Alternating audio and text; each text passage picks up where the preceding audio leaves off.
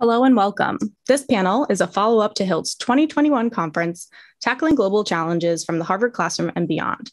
Today, Harvard faculty from STEM and non STEM disciplines will share how their students learn about climate change through various lenses. And now, without further ado, let's turn to our panel. Jim, the virtual floor is yours.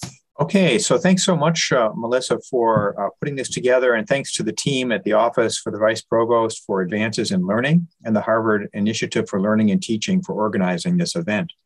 So let me just remind you another time uh, that if you want to ask a question, please put it in the Q&A box, and I'll be monitoring that.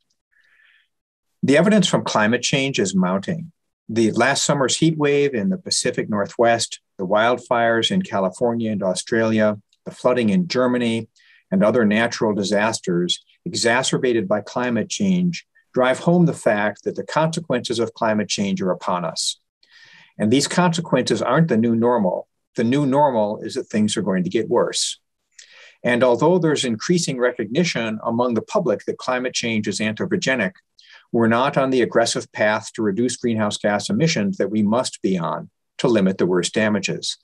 At the moment, we're good at making promises about changing behavior and reducing emissions in the distant future. We're less good at taking those actions now.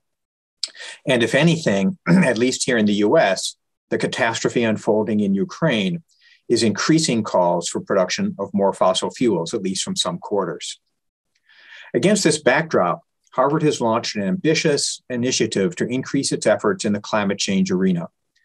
That initiative has multiple facets, including research, but a key part of that initiative is increasing the amount of teaching and climate here, on climate here at Harvard. Teaching about climate change can be tough, in part because the challenges of climate change span so many disciplines.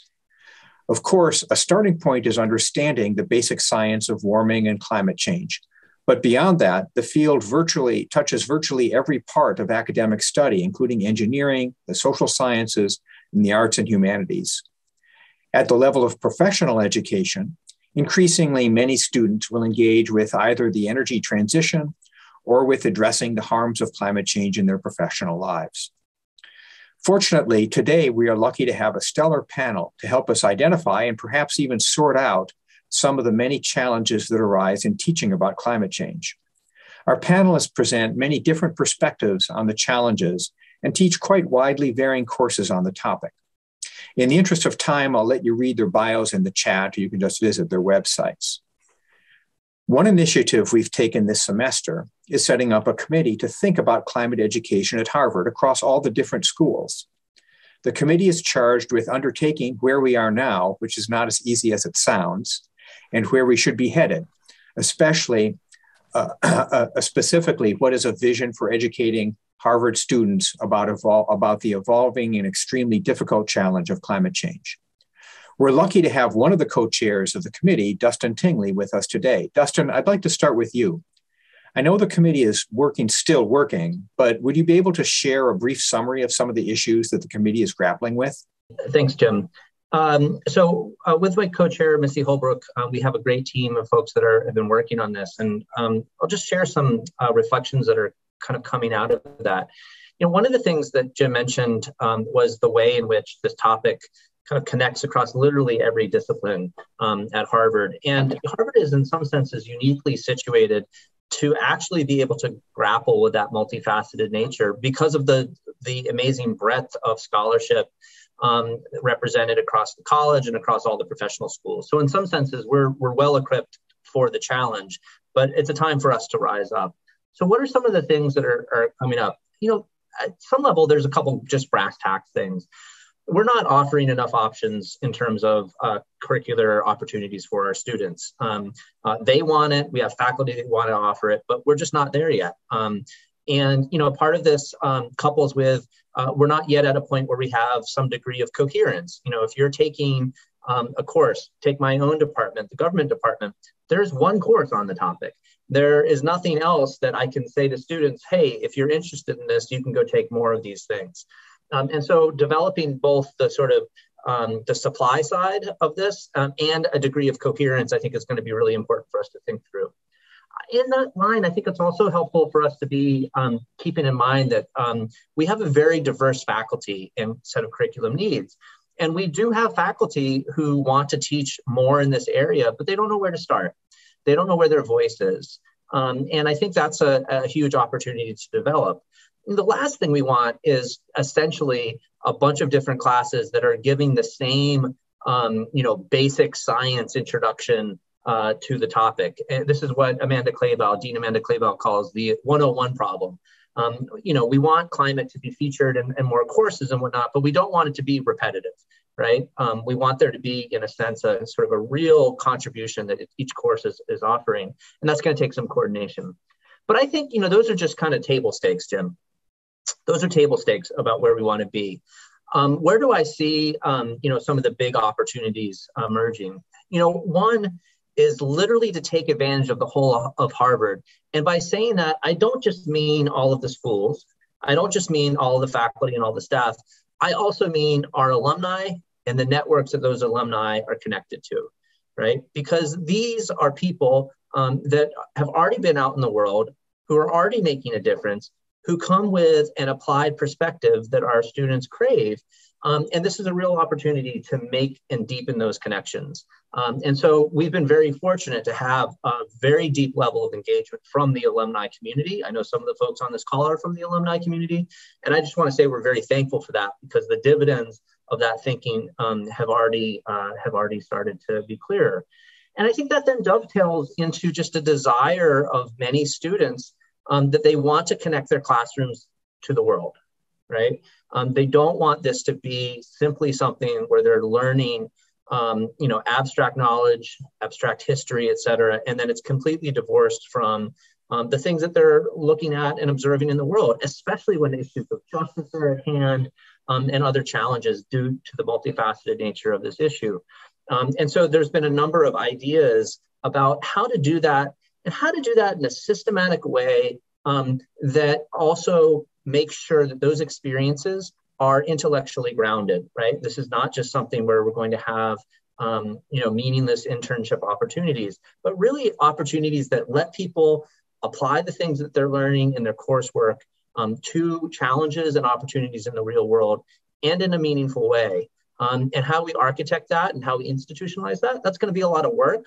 Um, but I think that we're uh, afforded with all the right uh, ingredients for success. Um, so I could go on a lot longer, Jim, but the work of the committee is really exciting. Um, and I'm really thankful for everyone who's been contributing to it throughout the entire community here at Harvard. Yeah, that's great. Thanks, Dustin. And um, I think uh, I think I asked you for a report in the end of May. So I'm. You I'm, did. Uh, so I've got we've got our work cut out for us. yeah, I'm eager. I'm, I'm eager to to see it. Um, Rob, you're also on the committee. Uh, you teach a course on environmental economics that's cross-listed with the Faculty of Arts and Sciences for undergraduates and at the Kennedy School for master's students. Uh, those students come with pretty different preparations and perspectives. How do you think that works? And do you, what do you think that implies for other possibilities of teaching courses in climate across Harvard schools? So, Jim, actually, you know, my experience increasingly is that it works really well because of the fact that these two groups of students are bringing very different skill sets. Uh, the students from the Faculty of Arts and Sciences, who are largely concentrators in economics or environmental science and public policy, plus some others as diverse as English literature and physics, um, that they tend to be bringing a, by and large, a more technical background, particularly in economics, often in mathematics to it.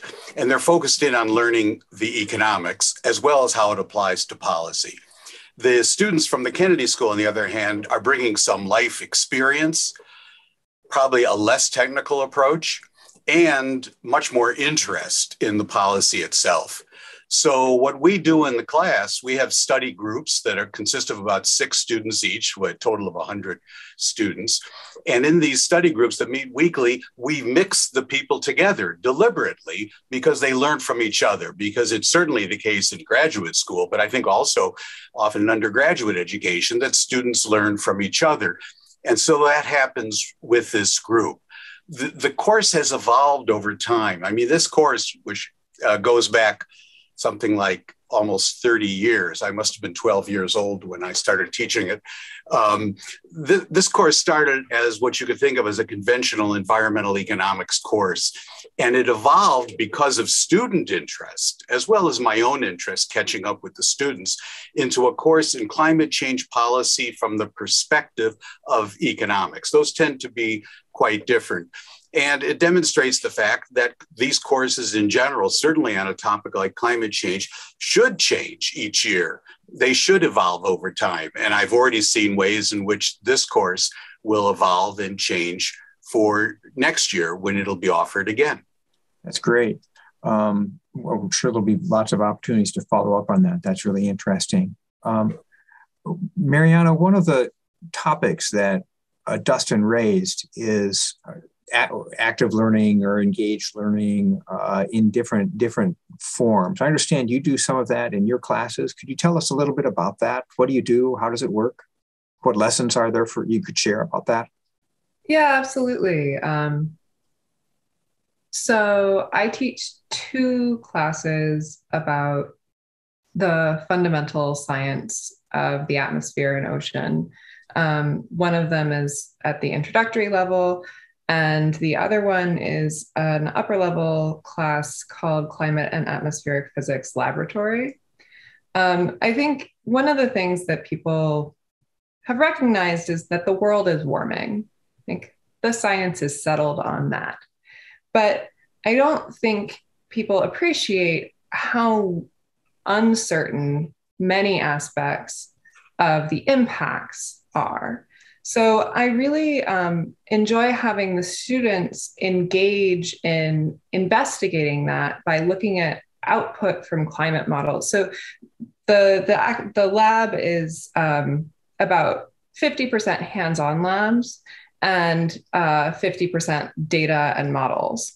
So the hands-on labs are looking at fluid flow in a tank. Um, but uh, for this conversation focus on the modeling aspect. So the, the students actually run climate models and they run climate models with Arctic amplification versus without. And what does that do for local effects?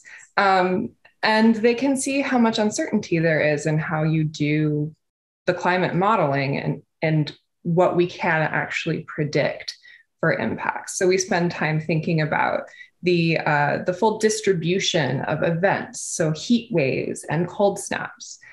Are they going to become more likely? Some models say yes, some models say no. I mean, heat waves, yes, but cold snaps um, are still still un- uncertain. So um, I really enjoy having the students really engage with the IPCC quality models um, that the same output that is used to create the their the reports um, and i think that's a really good learning experience for them. And then they can look at what they want. They want to see how um, the extremes are different uh, with the indian monsoon and how that's changing. They have the data they've learned how to do it and they can look at it. So i really enjoy that um, in in teaching my class. Oh, that's interesting. You know, you read the IPCC reports or the other studies, and they always have these these um, whatever we would call them fan charts, I guess, in economics about all the different paths going out there. And you always wonder, like, where does all that come from, and how do what sensitivities does that represent? And and actually having the opportunity to to do that oneself in real time and understand the the the sense you know the parameter sensitivities and so forth. I, that sounds great. That sounds like a really good experience. Um, I teach a freshman seminar in U.S. climate and energy policy, and a challenge that I have in that course is that uh, even to, to get started on the climate on the on the climate policy and the energy policy, you need to understand some of the basics of chemistry and some of the basics of climate science, so that we all have a common vocabulary.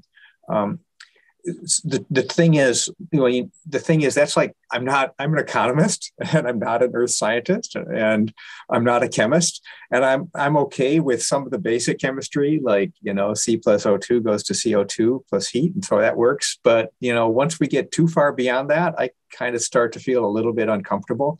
Uh, and and one of the pre-submitted audience questions raises this question too, which is how, how do you what how do you cover the basic stuff for the basic technical stuff of climate science and chemistry, even if that's not the main part of your course, you kind of need to, it seems like you need to touch base, or at least I feel like I need to touch base with it before I move on to the parts that are the main, the main part of the course.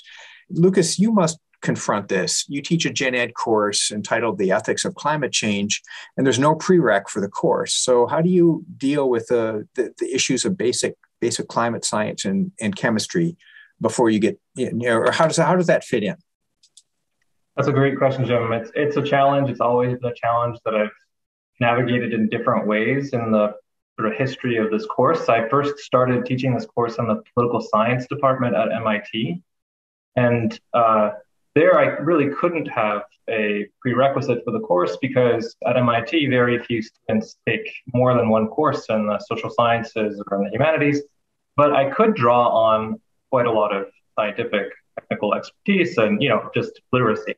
When I moved the course over to Harvard, I I um, I, I transformed it into somewhat more of a philosophy and ethics course, and uh, as a result, I think I was able to make it philosophically more difficult, but also the challenge that you just mentioned uh, reared its head, and and um, you know it's it's one that I continue to to, to struggle with and, and to try to do better with, with uh, every year. But in order to, deal with it, I, I, basically do three things. I, I first um, make use, liberal use of scientific literature that's aimed at a wider audience.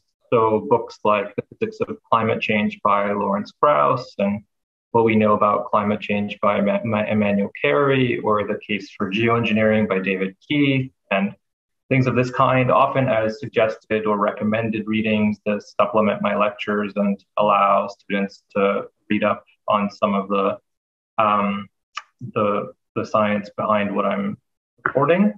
Second, I make a lot of use of IPCC reports and technical summaries and reports of the International Energy Agency and things like EPA circulars, Congressional Budget Office reports, and in some sections where the economics is central, I simply extract economics textbooks and so on.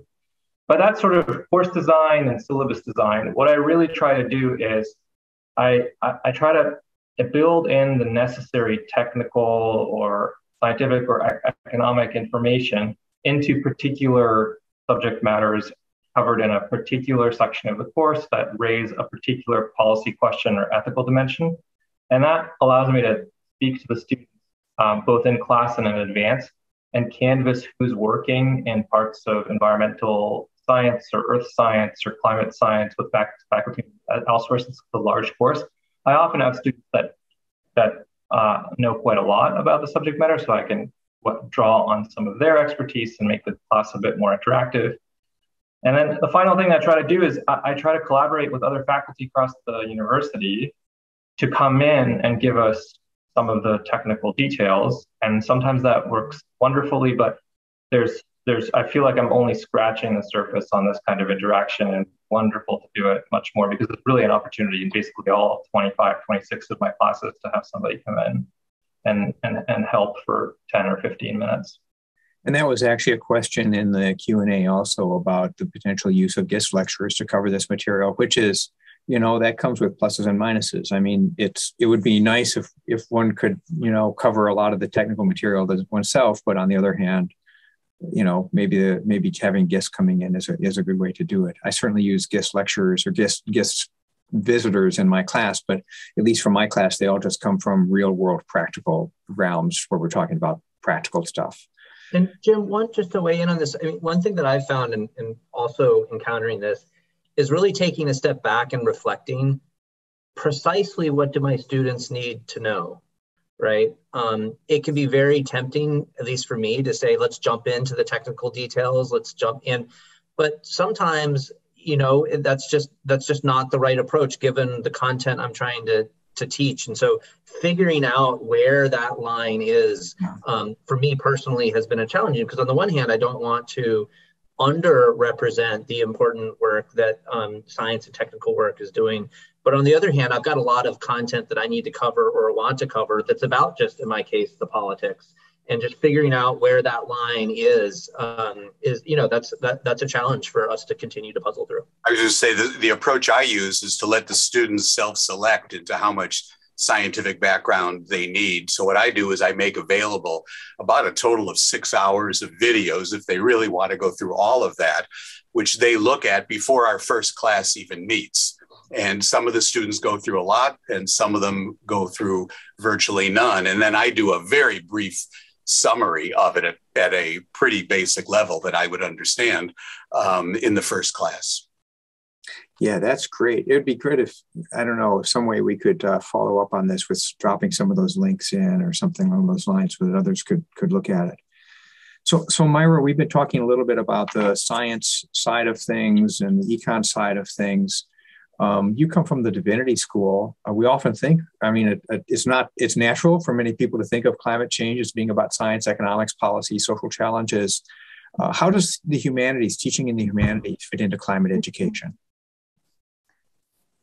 That's that's a fantastic question, and I think that the climate change is is a both an existential and an ethical question, right? And the and you know it goes to the heart of questions of what does it even mean to be talking about the possibility of the destruction of the world and and how should anybody live in this particular moment and so so in the humanities we're thinking about how to retell histories human histories that have for so long ignored ecological histories and those that we have learned through those histories habits of thinking right? Um, that that we now have to to learn new habits of thinking. And and i think the the another dimension that is very important is what are the linguistic dimensions? What are what is the kind of language we use to talk about it and what does it convey? What are the philosophical concepts with which we we um, think? And what are the things how how do philosophical concepts can even hide the material dimensions of existence? Um, and also to take seriously the imagination right when something as uh, drastic such a dramatic change is happening, we reach for the imagination um, to try to think about something that is almost unthinkable. And I think the humanities have a lot to offer in these areas. In my, my particular class is focused on areas of colonialism and race, which is the area I typically teach.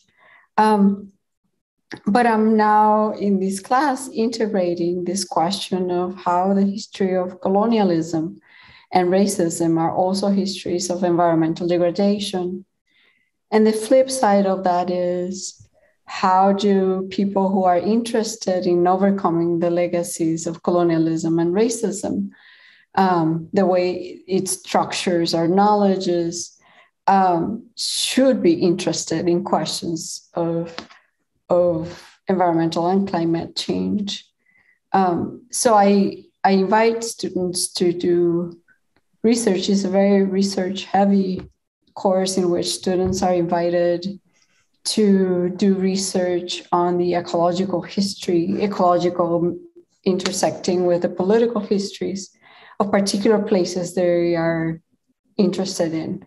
Uh, and these are most often places they value, they have some affective connection to.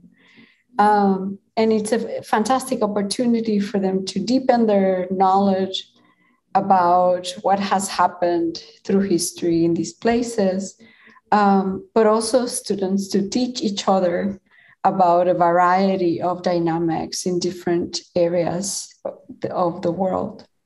You started off in this point,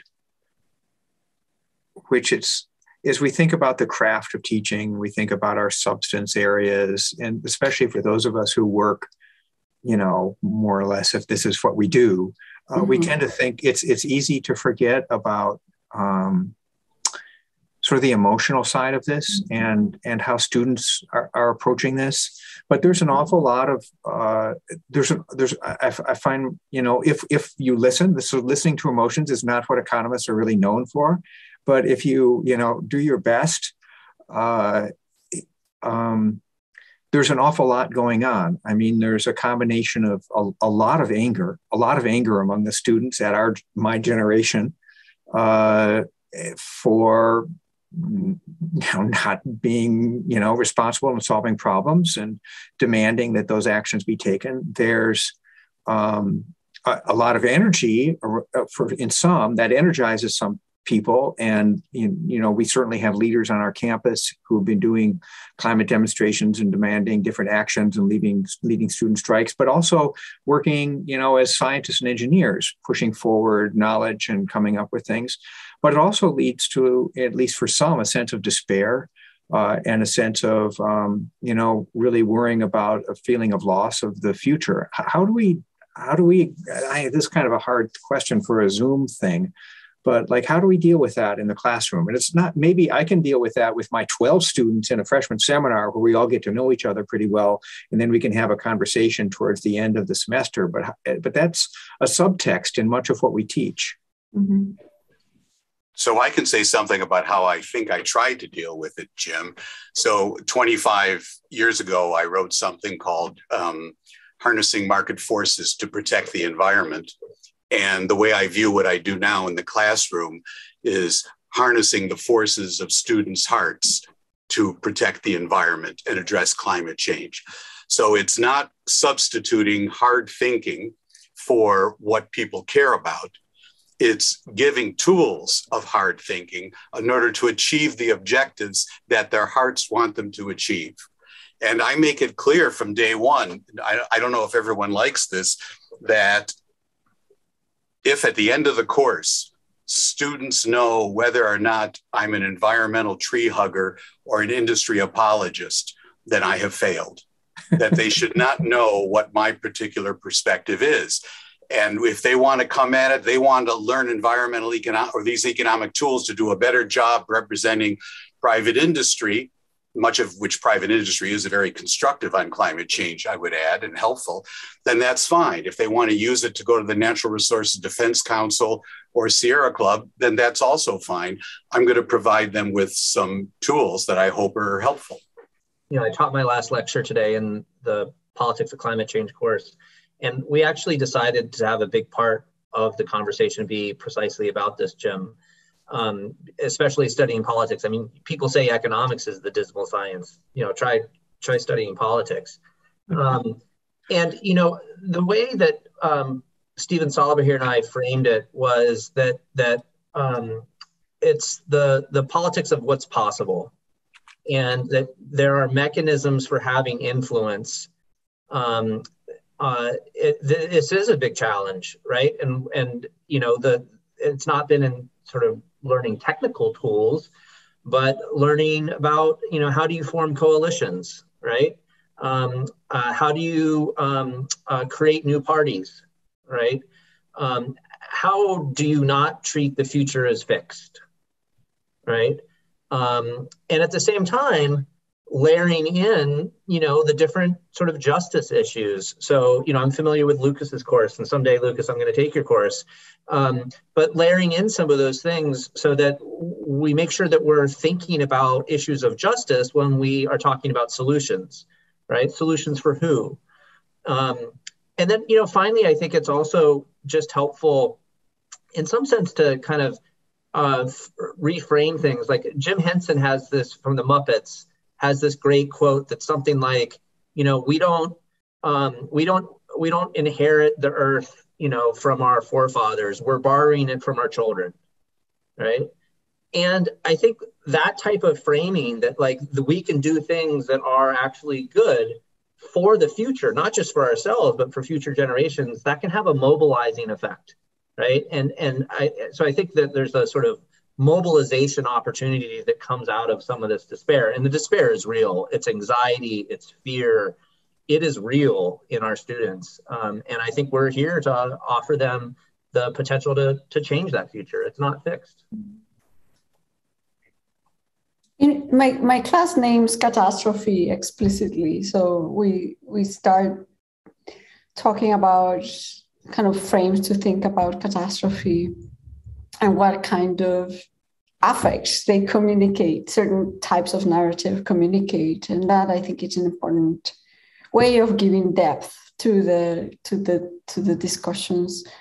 I think also an important part of the class is we read um, narratives of catastrophe related to colonialism and, and slavery.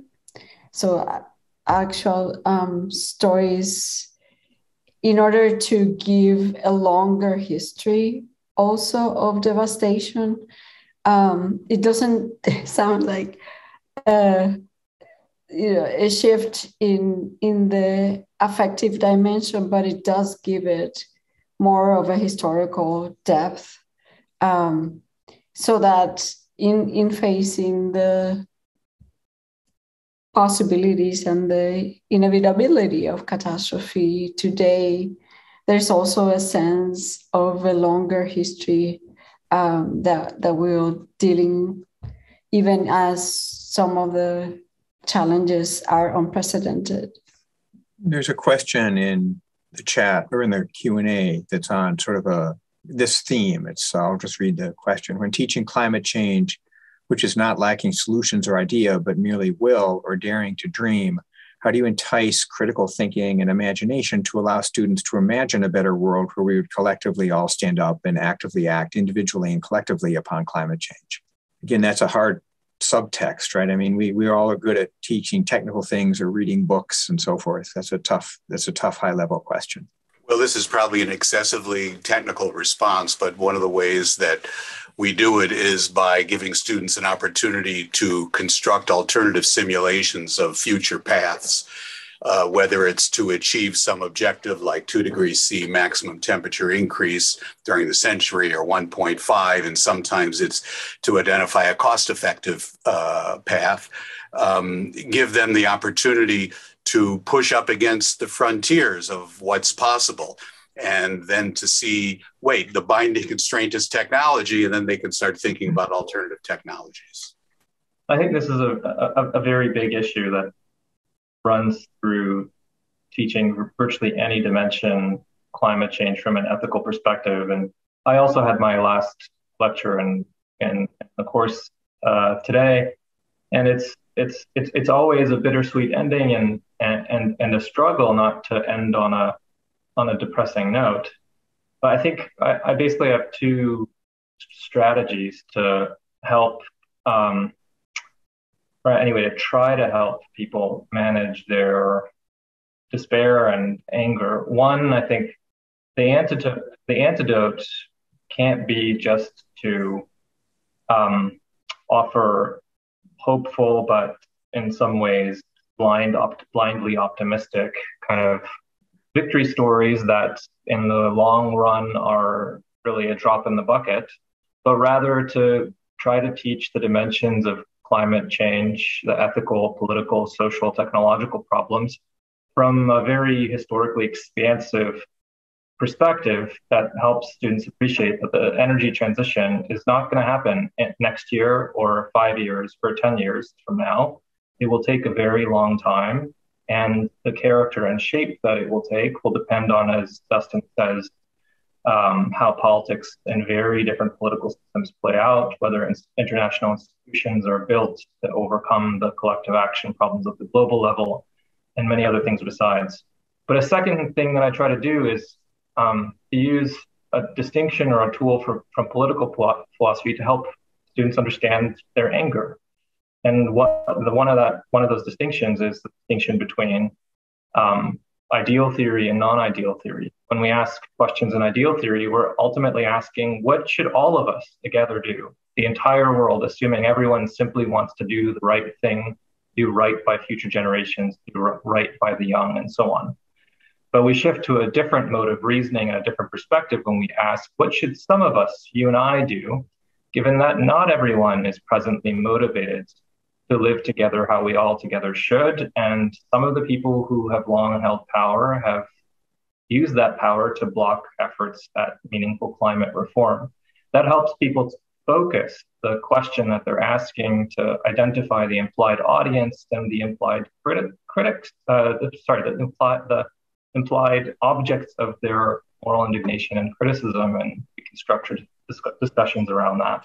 Yeah, I really struggle with this. Both the, this, I mean, these are related, the emotions and also the trying to imagine something better as I am confronted constantly with the numbers and the predictions. Um, and uh, it's something that I definitely have a difficult difficulty handling in my class from the science perspective, where I'm like, the numbers don't lie. This is like, it's bad you know, one thing that we talk about, though, I mean, from a perspective of our students, our students are, um, you know, looking ahead to careers and lives where they're engaged as citizens and engaged as professionals in this area. And, you know, this is going to be, a, there's going to be huge opportunities for doing really good things uh, in the world as we make this transition. We're going to have to make this energy transition. Really, the question is when we do it, do we do it in enough time to mitigate damages? So whether you're an engineer and you're really interested in you know whatever cool you know new project you know product it is that's an important thing to do if you're interested in carbon sequestration that's a really carbon dioxide removal that's a really that's there's going to be you know huge potential uh, demand for those sorts of things. Or if you're um, you know if you want to work for a company and you're interested in sustainability type issues companies are going to have an important role to play uh, and will have you know really large roles to play if you're thinking about being a design professional and you want to you know work on making all design professionals are going to have to think about how to make buildings more resilient and and urban infrastructures more resilient and greener and all of that thing it's like it's like this is the way of the future so there is an exciting opportunity to build professional careers while you're doing while you're making progress on this, as well as uh, taking advantage of the fact that we're going to be spending trillions of dollars. So I'm giving a sort of a, a, a, you know, a positive a positive story about how our students, being as smart as they are and being the leaders that they are, are going to be able to make a difference and have uh, constructive careers uh, addressing these challenges. And so we need to provide them with the right tools. Maybe I'm going to shift back to some of the more uh, mechanical questions rather than focus on this sort of these these really difficult questions. So I'm gonna um, I'm gonna I'm gonna this is a great question. We got a great question from uh, Elizabeth Losos, who's uh, at the uh, uh at the Nicholas Institute at Duke, and she's asking a, a great uh, a great administration type question for Dustin. Is the curriculum committee thinking about the goals of the the goals? Uh, excuse me. Is the curriculum committee thinking about what the goals the university should have concerning climate education, and how will it measure progress and success? Yeah, no, that's a great question. Um, so, you know, absolutely thinking about the goals. And I think just to sort of rehash, you know, one of the goals is to not simply think that um, our educational offering is solely going to be um, uh, mediated through classwork, right? It's going to be an important part, um, but I think we want to really make sure that we're really treating the student experience as a much more of a holistic one, um, which actually ties into a separate question I'll get to in a second about, you know, what are examples of co-curricular um, and extracurricular type opportunities, but I'll get, uh, which is a separate question, I'll get there in a second. Um, in terms of you know metrics and evaluation, I think you know those derive from those goals. So simply doing a bean count of how many classes mention the word climate change in our syllabus this year and in the future years, yes, we can measure that. Yes, we should measure that, but that doesn't capture our aspirations. I don't think. Um, I think other things capture our aspirations. Um, uh, what you know how many of our students are going out and uh, getting jobs or internships or, or or or going into the sciences or whatever? Like you know let's what happens after harvard in a sense? That's an important metric. I think there are other metrics. When we have um, employers come to our job fairs how many of them are making explicit offerings? Yes we have positions in the climate space that's a great metric because it's a metric that we can you know potentially you know nudge those organizations and say look our students are interested in this make sure that um, you're you're offering these things um, so i think that the type of metrics the specifics are to be determined. Um, but I think we we were definitely thinking beyond just a sort of a bean counting, you know, type exercise um, there. I also think another great metric is, you know, what's the what's the scope of the kind of co-curricular and extracurricular type opportunities? We have the ability to count those things. We fund those things administratively, um, but what do they look like? And I think there are some great models that are emerging. Um, I've been involved in one called uh, Fellows at the Forefront. What it is is it's a group of undergraduates. Um, half of them work with me doing research on topics in political science and economics that I study. Another half um, are uh, embedded out in the field in different organizations like Green for All, um, Natural Resources Defense Council, et cetera. But then each week, we're all meeting together as a group. This happens over the summer. We're all meeting together as a group, and people are sharing their experiences. You know, I was doing this for Professor Tingley. That relates to the work that you're doing in your organization. It gets them talking. We have a speaker series. Um, uh, Jim Stock was a, a, a speaker um, uh, last year. I'm looking to my colleagues on this call. I'd love to line you up. Um, but the point is just getting that crosstalk between the sort of more academic side of work that people are doing, but also people that are out there experiencing it and having that happen, you know, at the same time, right? It's over the same summer. And importantly, it's a shared experience. It's a social experience. It's not something divorced from who these students are as actual people. They're getting to know each other. Um, so that's just a you know attempt to answer one of the other questions. But you know, how do we keep track of those things? Are we seeing more of those opportunities? Um, how can we provide them? I think that's those are the sorts of metrics that are are going to be very valuable as we um, chart our progress. I'd say the final metric, and maybe this is a little bit more aspirational, maybe this is a little bit arrogant Harvard esque, but how can we influence the rest of the educational landscape, right? What are things that we can be doing at our institution that other institutions um, can be leveraging, whether it's even including like working with standard setting type organizations. And likewise, how do we learn from others?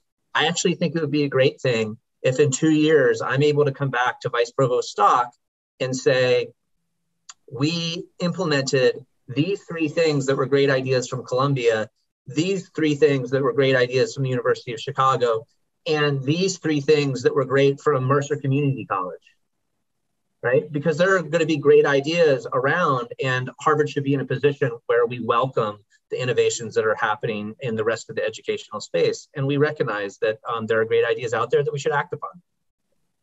There's another question in chat. I don't know if anyone wants to jump in on that. There's another question, or a couple of questions in chat that get back to this question of the basic science. Uh, how do you teach? You know, what, do you, what do you know about the basic science and so forth? And Lucas had a set of uh, suggestions and a set of approaches, and Rob had this other set of approaches, which is people watching the videos, which is you know that strikes me as being pretty good too. Um, you know, another possibility, if we try to think where we should be, let's call it like four or five years from now, or three or four or five years from now, should we just be able, should Rob and Lucas just be able to expect that there's this fundamental knowledge that everybody has? Um, you know, are we going to, would we have a required course? I, we're not going to answer that question because that's presumably one of the things that Dustin's committee is thinking about. That's a really complicated question at Harvard. But, you know, there's another question in chat that says, like, what's the minimum that everybody should know? What should everybody who's graduating from Harvard know about climate science? And those are all those are related related questions. What do we think about that? What, I, I'm really curious about what people think about that question. And of course, climate is really big, right? Climate covers everything, but you know they've also got to learn English and they've got to learn a lot of other topics too. So you can't be too greedy. So I'll jump in and say something about economics, and, and I'm also thinking politics, but that's Dustin's area. That in addition to understanding the basics of climate science, I would hope that students would understand the fundamentals of an economic of economic thinking about climate change, that there are trade offs, that there are more than one way to skin a cat, that we can do it in an expensive way, we can do it in a cheaper way. And we care not only about climate change and not only about the environment, we care about the cost of food and education and healthcare and everything else. So there are ways to do it smarter.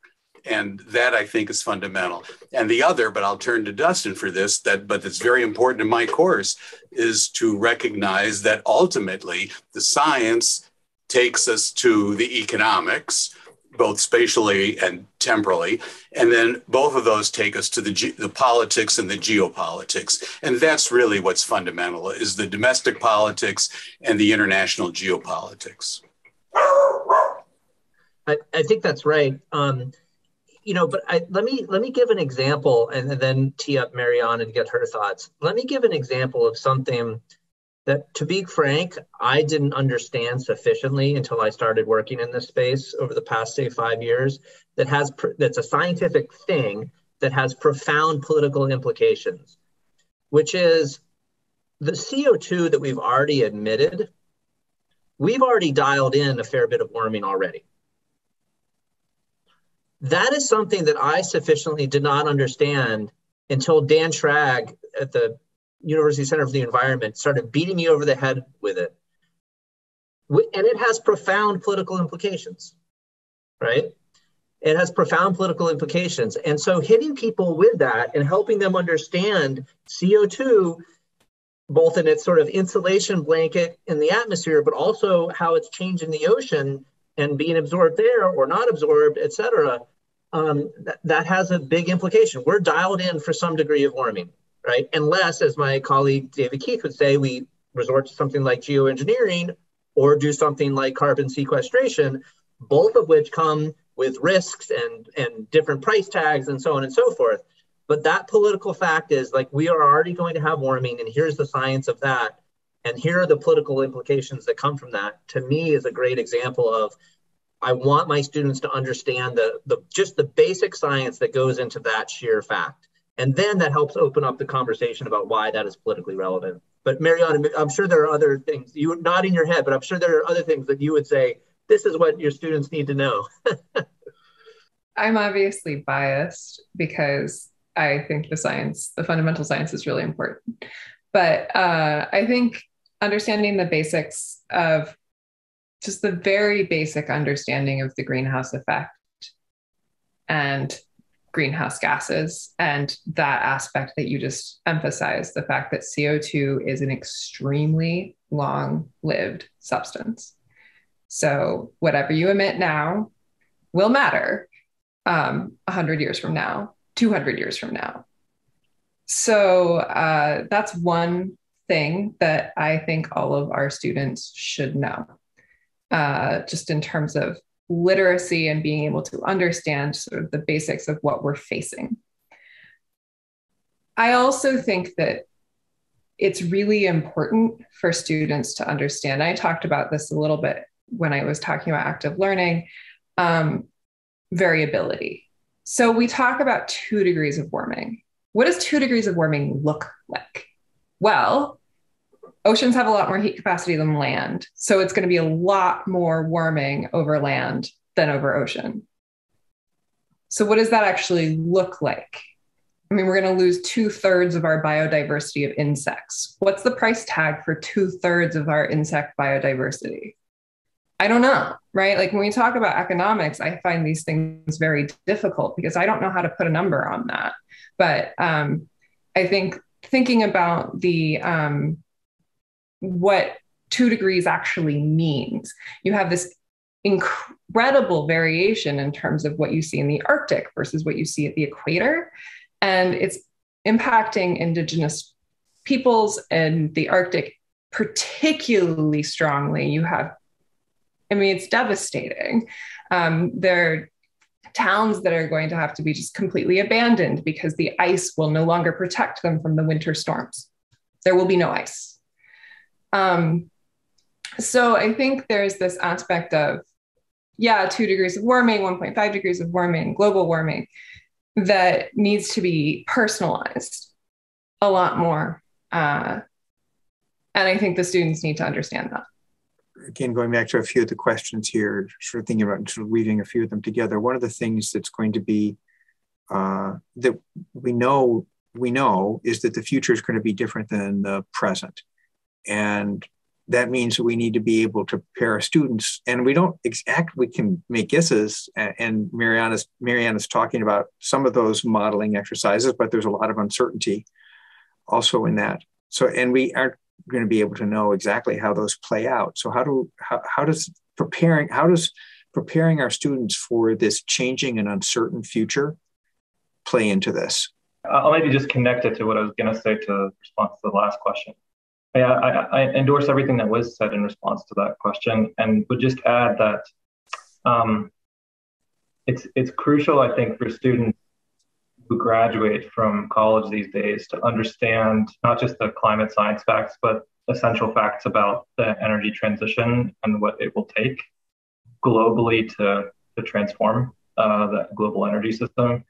Facts like emissions continue to grow and fossil fuel infrastructure not being displaced by renewables, but rather humanity's energy supply is being augmented by renewables.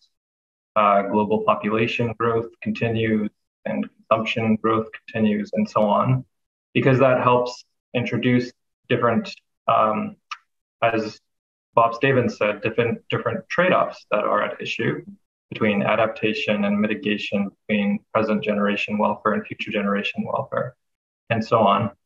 Um, and of course, a lot of these impacts in the future are profoundly uncertain. So you're connected to the climate science. So a, a lot of the, the tipping points that we may hit after two degrees of warming or even before that, positive feedback mechanisms and so on. My understanding is that the modeling and the science behind them not allow us to assign precise probability distributions. And so there is a general moral question for decision making here.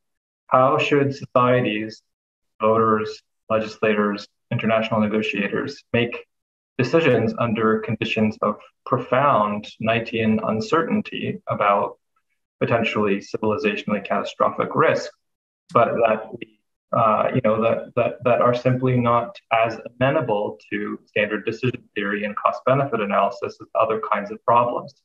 That I think is just an extraordinarily difficult philosophical problem. And it's helpful for us to get an appreciation of different approaches to this question and the way that disagreements about this question drive disputes about the urgency of acting on climate change. I think I think also the very question of what does uncertainty mean? Right, Maria, when Marianna was talking about modeling, I was thinking this is a great opportunity uh, for someone to to learn in a more concrete way what uncertainty means. Um, but I think a, a, a direct ap- approach to this question of uncertainty, which so often gets used in so many different ways, is fantastic. I think also I'm thinking about the work of Amitav Ghosh, a writer who's written um, kind of a history of the novel in which he argues how gradually we lost a tradition of writing that dealt with the catastrophic um, in in ways that might then hinder our imagination such that certain events, because they're not predictable um, in, with any certainty, then just are outside of what we imagine and thus can can even think of preparing for right? A hundred year flooding uh, in order to to make a decision to move from that area you really have to contemplate that something that is catastrophic and unheard of can actually happen. Well, can I add something that we've missed that I saw come up in the chat and people are hmm. asking about? They were asking about what about impacts on non-white people and non-white parts of the world? And something that's very important, and it's one of the ways in which courses, my own course, and I'm sure others have evolved over time, is that whereas economists have traditionally spent a lot of their time looking at efficiency and cost effectiveness. Um, increasingly, certainly in the climate change realm, but in all other realms as well, we look at distributional equity. And in the climate change realm, domestically, this is either what's referred to as environmental justice, typically for correlated air pollutants, uh, impacts on low income communities, and also what's referred to as just transition, which is that, for example, Appalachian coal miners are going to be losing their jobs and have a lack of mobility. And then, as importantly, and a huge part of my course certainly, is in the international realm. Uh, rather than efficiency and cost effective being the driving forces of international policy, such as the Paris Climate Agreement, it is distributional equity. It's common but differentiated responsibilities that you know phrase that goes back to the united nations framework convention on climate change that's what drives the policy is distributional equity. And the 150 developing countries compared to the relatively small number of 30 35 of the wealthier countries they're the ones that to a large degree are really advancing the international schedule of action. Yeah i, I would agree with that. And I, you know it's also just to go back to our students um, it's an area where our students uh, feel a profound um, uh, uh, responsibility and interest. And, um, you know, I'll give you a quick example. When we were designing uh, our climate change and politics course, we workshopped it with some undergrads, and they said, wait, why are you putting the environmental justice stuff in the last three weeks of the course? That should be on day two or day one we changed it. We put it on day three, had to do some other things first for other reasons. We put it on day three and it fundamentally changed the tone and tenor of the conversation. And I'm convinced it made it a much better class. Um, and so, uh, you know, it's it's there. It's good pedagogy. It's good from a sort of a moral um, perspective, and it's also, as Rob is pointing out, it's the reality of what's on the ground. So we should absolutely be doing that. And it's also a good practice of learning from your students. Yep. So, okay, well, thank you very much. We have reached the end of our hour, and I appreciate all of you taking the time. And thank you very much for the audience for pitching in. Melissa, do you have some final words? Yes, thank you. Thank you, Jim. Thank you to all of our panelists for this very important and sobering conversation. And thanks to all of you who joined us today. We hope you'll join us for more signature events. Information about upcoming events, as well as recordings of our past ones, can be found at vpal.harvard.edu slash vpal-events. Good night, everyone, and thank you for being a part of the conversation.